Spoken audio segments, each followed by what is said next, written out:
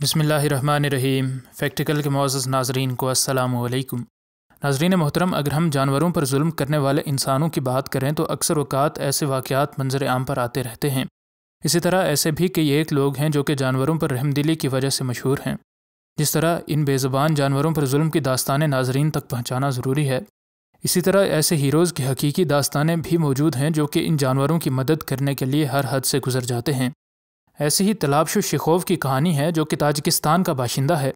ये बूढ़ा एक दिन अपने एक दोस्त के घर गया तो उसने एक रीछ का बच्चा देखा।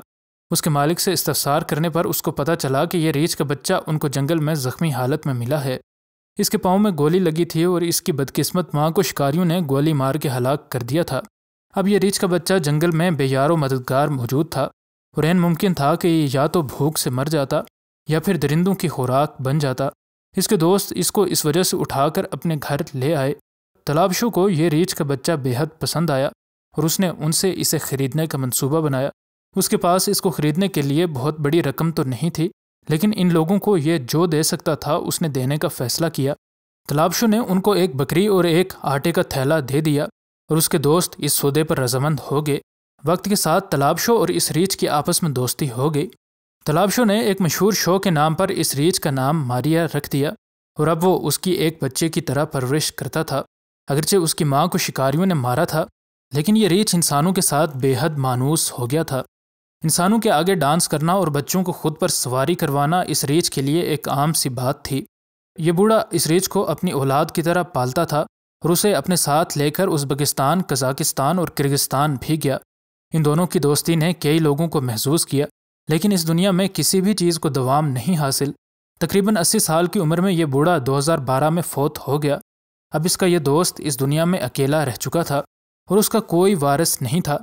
कहा जाता है कि यह रेच इस बूढ़े की मौत के सिर्फ़ दो माह बाद ही फौत हो गया। लेकिन हकीकत यह नहीं है। जब इस रेच का मालिक मर गया तो उसको दुशंबे चिड़ियाघर वाले उठाकर ले गए। इस चिड़ियाघर के डायरेक्टर ने कहा कि जब हम उसको उठाकर लाए तो ये अपनी नई कैद वाली ज़िंदगी और अपने मालिक की मौत पर बेहद अफसरदा था और उसने कई दिनों तक ना तो खाना खाया और ना ही सर उठाया। इस चिड़ियाघर के डायरेक्टर ने मजीद बताया कि आहिस्ता आहिस्ता इस रीछ का यह जख्म मुंदमिल होता चला गया और इसका मूड भी बेहतर होता गया। अब यह रीछ एक बार फिर से खुश नज़र आ रहा था और वक्त के साथ ये रीछ चिड़ियाघर के स्टाफ के दो लोगों के साथ बहुत ज़्यादा अटैच हो गया।